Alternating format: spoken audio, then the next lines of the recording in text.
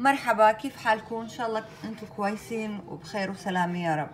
اليوم رح نعمل آه، معمول الفستق الحلبي بطحين. إذا بدكم تعرفوا كيف أنا عملت هاي الوصفة شوفوا الفيديو.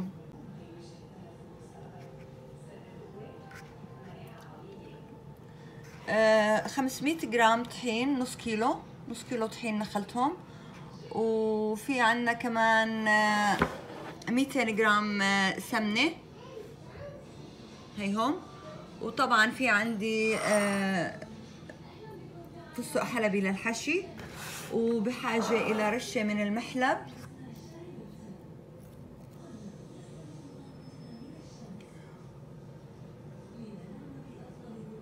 ورشة ملح.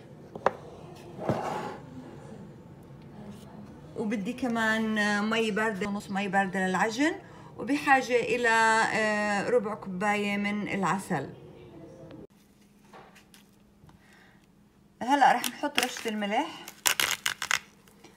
طبعا إحنا رح نبس ال- الطحين بالسمنة وراح أحط رشة ال- المحلب.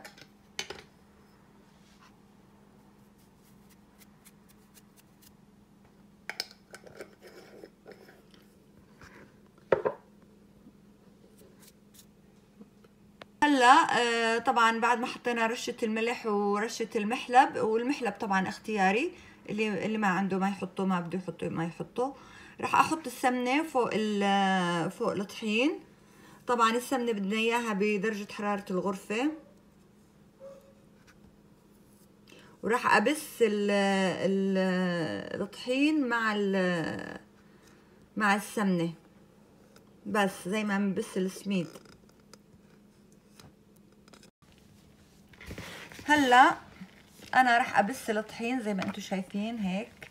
بفركه فرك مع مع الزبدة مع السمنة. طبعا تقدروا تستخدموا زبدة بس السمنة أطيب. ببسه حتى كل ال- ال- الزبدة تدخل مع الطحين. بتقدروا آه، أنتوا تعملوا من الزبدة سمنة يعني بتجيبوا الزبدة بتحطوها على النار. وبتخلوها تغلي على النار لحتى ال يعني فيكم تحطوا كمان شوية برغل بقلب هذا وفيكم ما تحطوا. بتخلوها تغلي على النار لحتى ينزل الحليب بقاع ال- الطنجرة. ويصير لونه بني.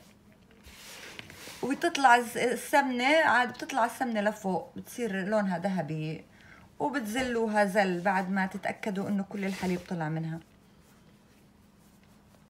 يعني كيف بنعرف إنه سمنة ال ال ال السمنة منيحة أو الدهن منيح بالعجين بالطحين؟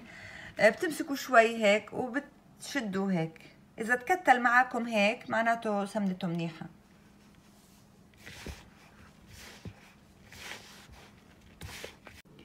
بعد ما بسينا الطحين بال- بالسمنة هلأ رح أحطه بالثلاجة لمدة آه، نص ساعة. حتى آه، تجمد السمنة ويبرد الخليط لأنه لازم إحنا نشتغل فيه وهو بارد هذا.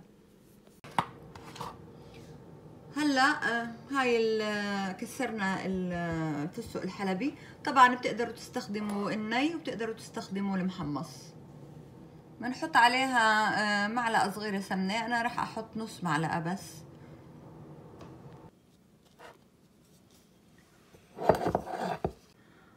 معلقة صغيرة من ماء الورد آه، من ماء الزهر. معلقة صغيرة من ماء الورد كمان اختياري اللي بحب. معلقتين مليانين من العسل. هذا اللي عندي عسل أنا ني عسل بسموه روهني أي نوع عسل بتحبوه؟ أو بتقدروا تستعملوا القطر الثقيل اللي هو كوبايتين سكر عليهم كوباية مي. هلأ بخلط كل المكونات مع بعضها البعض وبوزعها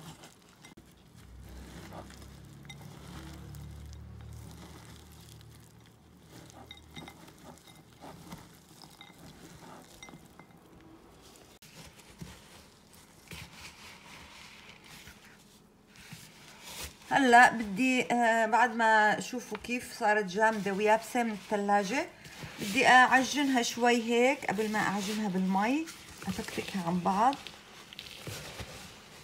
بس ما بدنا إياها تبرد. آه عفوا تسخن.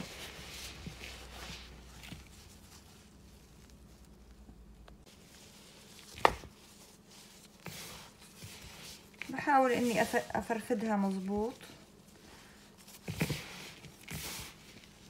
هلأ بدي أحط عسل عليها ربع كوباية عسل.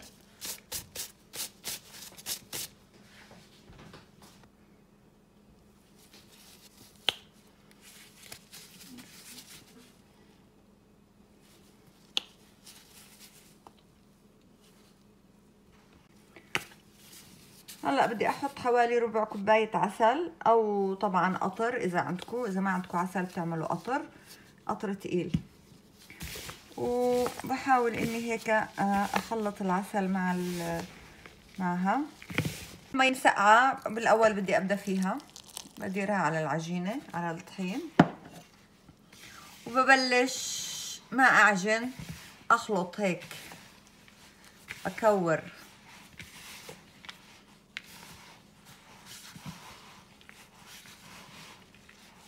بجمعها تجميع.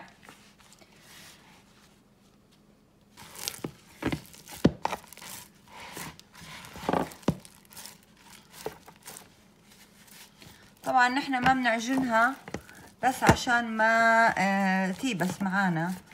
فبنحاول إنه يعني ما نعملها عرق يعني ما يصير الجلوتين فعال كتير فيها مشان ما تيبس تصير يابسه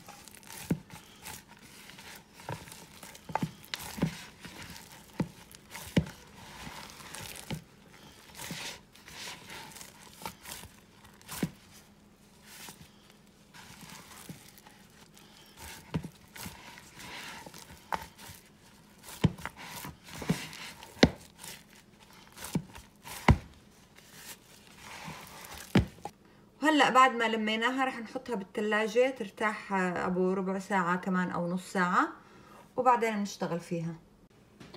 وهاي الحشوة عنا شوفوا كيف بنعملها كور هيك بنكبتلها كور. والعجينة طبعا بعد ما عجناها هي أخذت مني آه، نص كوباية مي باردة بس. حطيناها بالثلاجة وبنجيب شوي شوي قطع قطع وبنشتغل فيها شوي شوي. يعني ما بنحط العجينة كلها برا. بس أكمل قطعة بنشتغل فيهم وبنرجعها على الثلاجة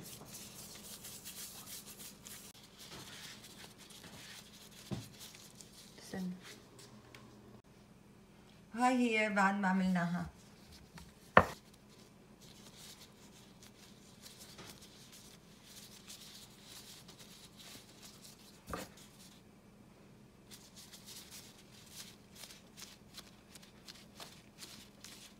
هيك بنحطها بالقالب هاي معمولاتنا صاروا جاهزين. وصفة طيبة وشهية. آه طبعا غنية كتير مليانة بالزبدة والمكسرات. إذا عجبكم الفيديو ما تنسوا ال like. بنشوفكم مرة تانية. bye bye.